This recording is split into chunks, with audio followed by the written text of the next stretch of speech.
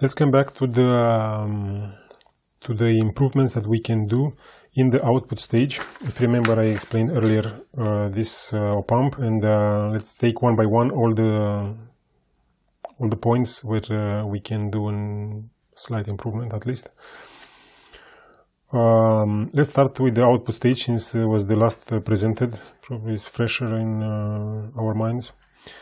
And the output stage, as I said, is something like this. So um, I explained previously how it's working, but let's look a little bit carefully what is the problem with this structure. I mean, where can where we can have problems, and um, actually we can have problems at very low voltage on the output or very high, of course.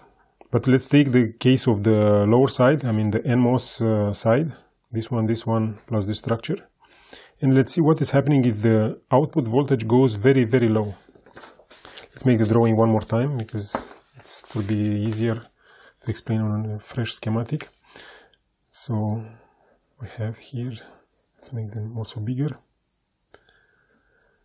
Um, one like that. Pum, pum. Pum, pum, pum, pum, pum.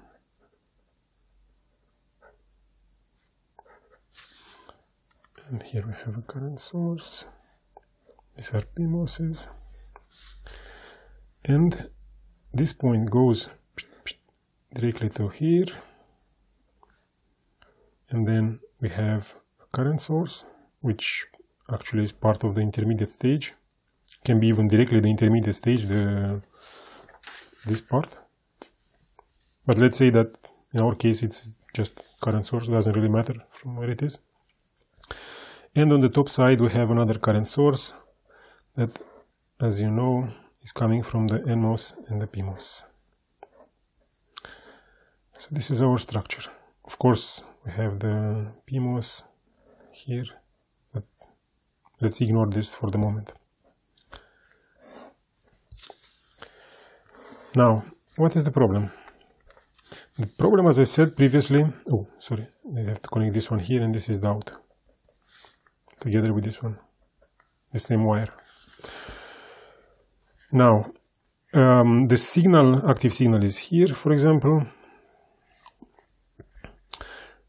As I said, um, problem that I see here first is the fact that this one can go full rail to rail, while this one, even if it is going rail to rail, still at a certain moment, this one will go so low that this MOS, uh, let's put the labels from the last one, M5, M6, M3, M4, M1, MN, MP. So if output voltage goes very, very low, below the VGS, below two VGSs actually, because I have one VGS here and one VGS here, you will simply not have, I mean, um, this one cannot go so low. Even if, as you can imagine, since this one is low and is a PMOS, the M5 will be fully on. Still, this current source will be limiting the voltage. So this voltage cannot go lower. And at a certain moment, when this one goes very low,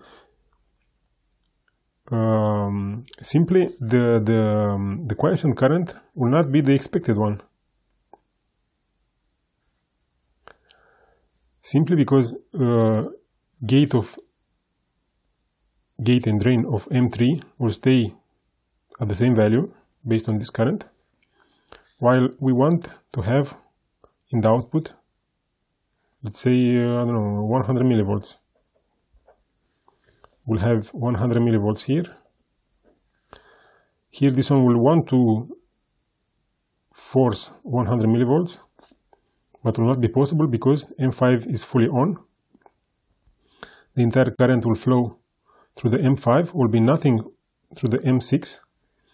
And since the entire current is here, VGS of M4 is quite big, is high. M4 is almost fully on but there is no current through this spot. So this net, which we said, yeah, this net should follow the out. This is out clone. Let's put here the, like, like that, the apostrophe. This clone of the output voltage will not be the same, will not be correct. Simply because this structure is not working anymore. And um, to, to see this is easier to simulate only uh, the lower part of the output uh, stage. I mean, only this part. And to do something like this, it's easy because you can connect here a voltage source, plus and minus. You can sweep this. You can exclude the uh, the um, the MP transistor, the big PMOS. Can cut this line, put here a voltage source, measure the current that flows into this input in both direction, of course. And you have to sweep from 0 to VDD. And at that moment you will see something like this. You'll see somewhere in the middle the current will stay flat or almost, maybe a little bit rising. Is the current that you expect because this is your spec. Let's say here you want to have quiescent current on the end. Here on the x-axis you have from 0 to VDD and what will happen? At a certain moment, at around 2 VGSs, the, um,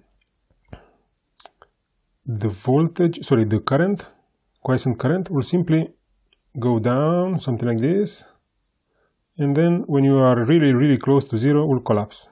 Will will have to go through the origin at a certain moment. So it will be something like this, at very narrow uh, angle.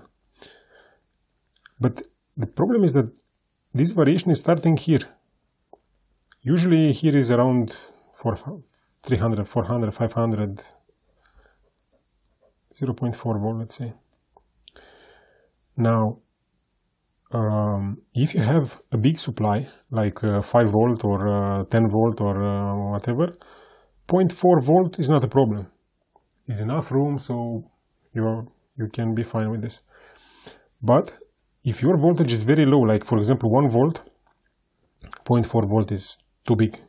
Because as you can imagine, this is on the N side, but the same thing will happen on the P side. So, uh, okay, let's put this on top. Expected drawing for the quiescent current if you have exactly the same structure but flipped and then uh, if you do the same simulation but for the P side, you'll have the same thing You have a current that is almost constant and suddenly dropping and then here is the VDD. And if you eat 0.4 volt from here and 0.4 volt from this side is too much, is 0.6 volt taken, sorry, 0.8 volt taken from the supply. If the supply is 1 volt, as you can imagine, this region from here till here is just 0.2 volt, which is too small. It's not practical. But there is an improvement that you can do, and this improvement is something that I uh, discovered myself. I don't know if it was presented ever in a book or something in an article. Um, and the problem here is that this structure is providing two VGSs in the drain of M5. Now, the easiest way to, to avoid this is just to avoid having two VGSs in the drain of M5. So that the M5 can go even lower and M6 also can follow the M5 so that this voltage, the expected out voltage is really copy of the output voltage which is, which is this one. And I will make the drawing here just to to be easy to compare. Um, so we have exactly the same structure initially.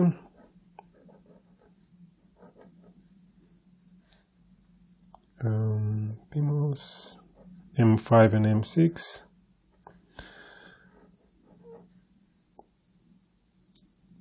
And current source. Of course on the other side um, have exactly the same thing. Here's a current source. Um, oh sorry. Here is the current source. And here is the output stage. Let's here here we are doing the test mn mn m1 as I said I want, don't want to connect this one here anymore. So what I can do? The easiest option is to take the transistor and connect it somewhere else. Of course since we want to have the same VGSs on M3 and M1 I have to connect the gate to the drain. It's easiest way actually. This is M4 M3 but now I want to have this one going lower with M5 the easiest way is to connect it here directly and from this net I have again one VGS up and now I need to pro provide a certain current to this net because I cannot just leave it like that. So I can provide another current source.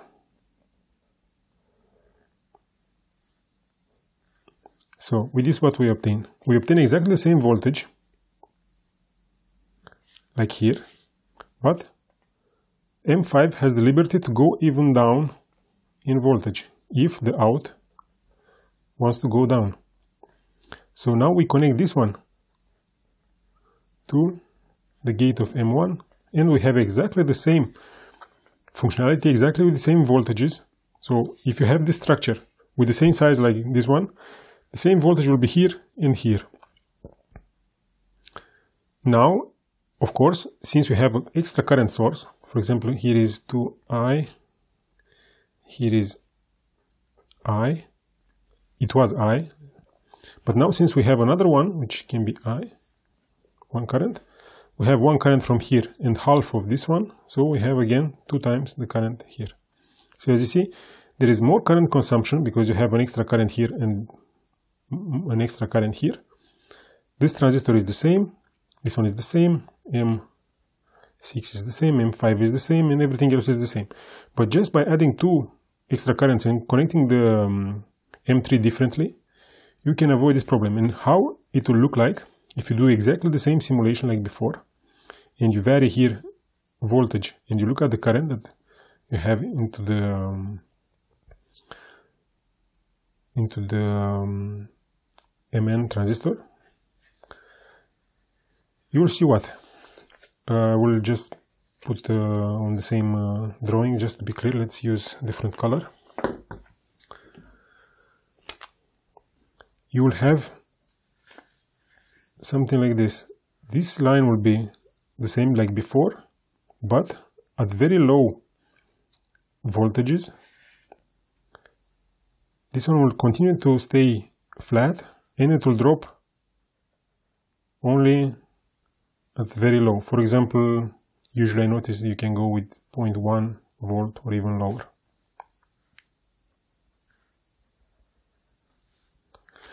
So just by modifying a little bit the schematic, just by thinking a little bit what is the problem with this structure, you can easily easily um, find a solution that is improving your uh, linearity of the quiescent current. Of course, the same, the same thing can be done on the P side if you flip everything. So now your range, in the case that I explained before, if the supply is 1 volt, as you can imagine, instead of 0.2 volt, here for the, the linearity in the middle, you will have something like 0.8 because you have 0.1 here and 0.1 here. Let's use still blue color. Something like this.